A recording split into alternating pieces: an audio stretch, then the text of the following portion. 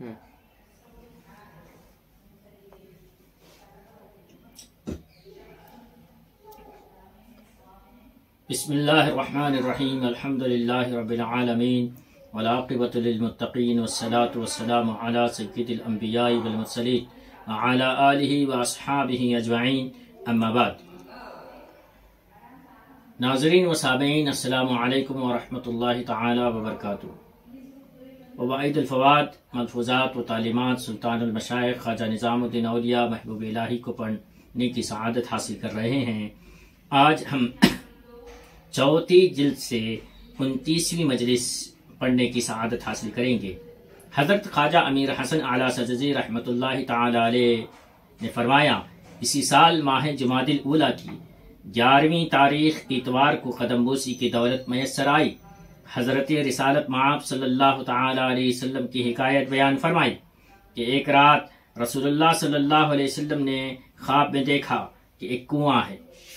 एक कुआँ है। इसके ऊपर एक डोल रखा हुआ है। वो कुआँ कलीब है।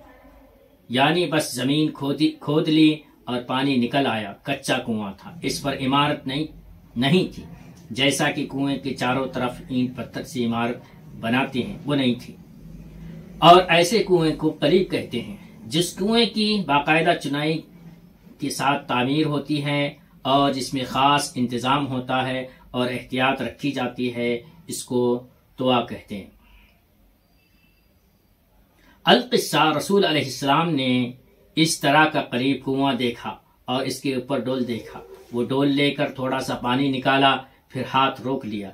इसके बाद अबू बकर सिद्दीक रदी अल्लाह तु को देखा वो आए इन्होंने दो तीन डोल खींचे, फिर इनमें कमज़ोरी देखी। इसके बाद उमर रदी अल्लाह तु को देखा, वो आए दस बारह डोल खींचे और डोल बड़ा होकर गर्भ बन गया। बड़े डोल को गर्भ कहते हैं। इससे बहुत पानी खींचा और काफ़ी ज़मीन को पानी दिया। ख्वाजा जकरल्ला बिल खैर ने फरमाया कि इस हिकायत से मकसूद ये है कि कुएँ का कुएँ का मकसद पानी होता है। चाहे इस पर इमारत बनाए या न बनाए और इसको तकल्लुफ से बनाए या न बनाए, गर्ज इससे यही होती है कि पानी मिले। यानी, हर काम में पेश नज़र मकसद का हसूल रहना चाहिए। इस दरमियान हाजरीन में से किसी ने एक मुरीद का सलाम पहुँचाया, जिनको मोहम्मद गवालियारी कहते थे, कहते हैं, ख्वाजा बिल खैर ने फरमाया हाँ मैं जानता हूँ वो बहुत अच्छे आदमी हैं। एक दफ़ा मुझसे पूछने लगे कि कुंवारा रहना बेहतर है या शादीशुदा होना? कुंवारा रहना बेहतर है या शादीशुदा होना? मैंने कहा, अजीमत हिम्मत का काम तो तजरीद कुंवारा रहना है। रुखसत शादीशुदा होना है।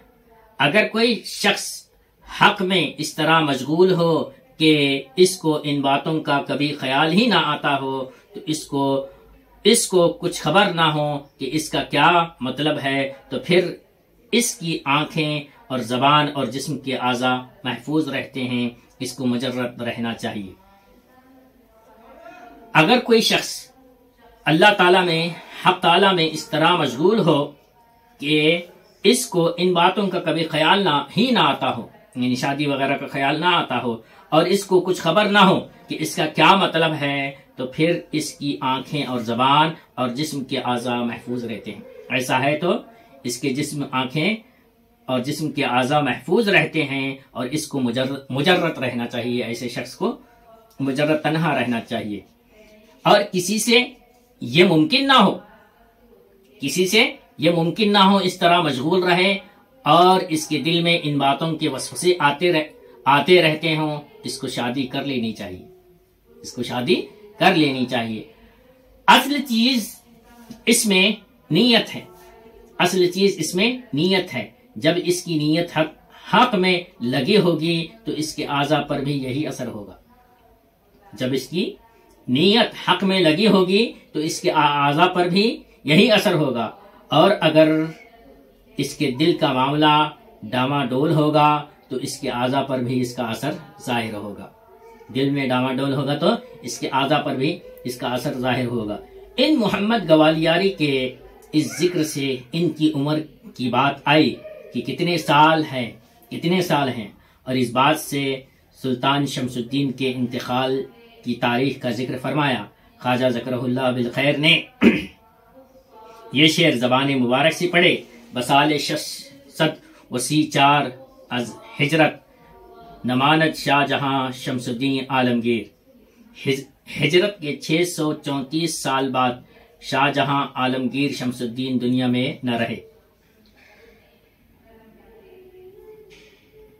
फिर मुरीदों के आदाब का ज़िक्र निकला।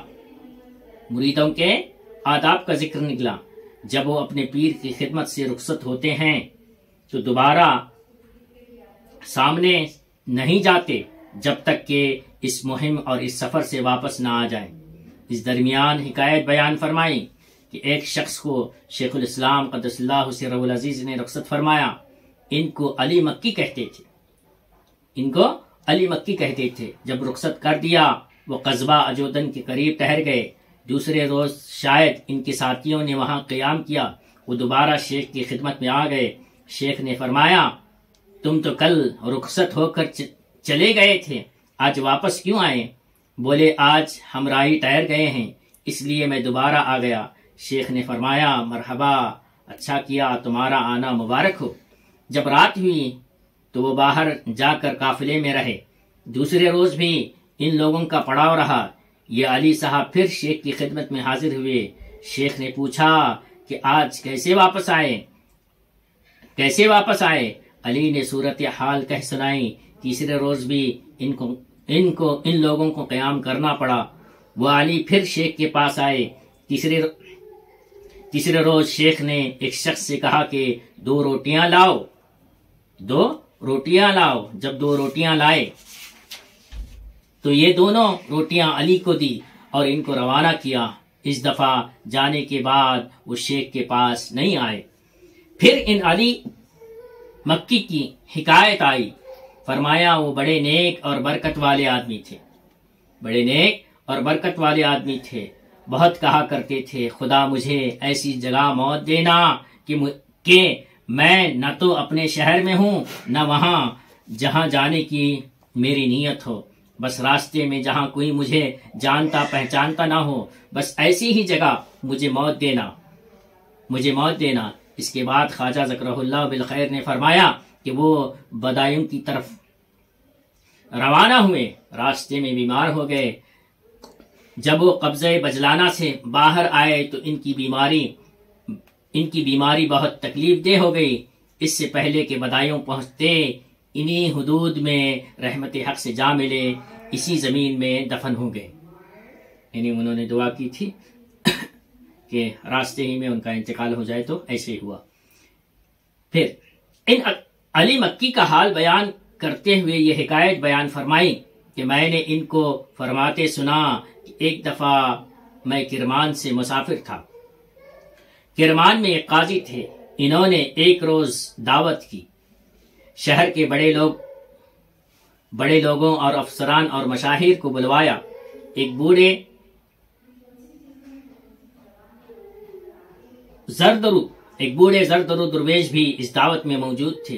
अगरचे इनका बुलावा नहीं था, लेकिन इन्होंने सुना था कि काजी के घर में दावत है, इसलिए आकर एक कोने में बैठ गए। जब सिमा कवाली शुरू कराया गया तो इस दुर्वेश में हरकत पैदा हुई। वह हाल खेलने के लिए खड़ा हुआ। काजी को यह पहल बुरी लगी।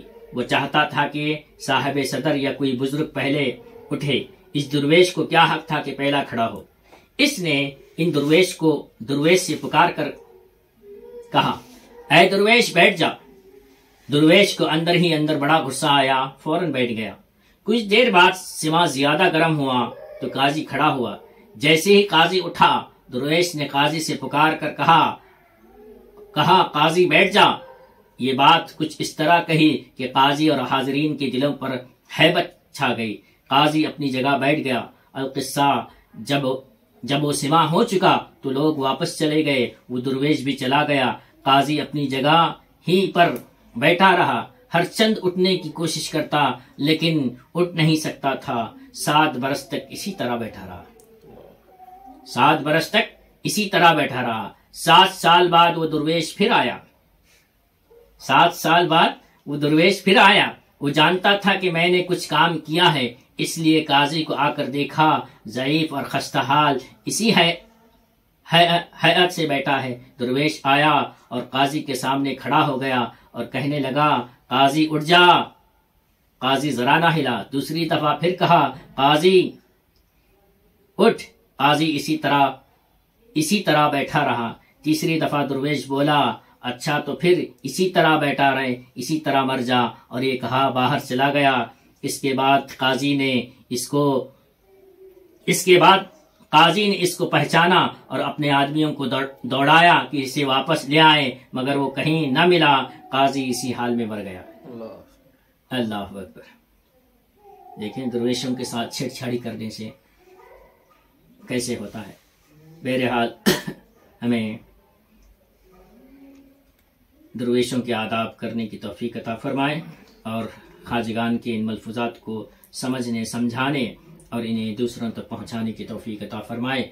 जो कुछ सुनने, सुनाने में गलती हुई, अल्लाह अपने हबीब की सद की गलतियों को माफ़ फरमाए। आखिर दावाना रबालमीन चौथी जिल्द से उनतीसवीं मजलिस ख़त्म हुआ चाहती है। असलकम वरहमल वर्का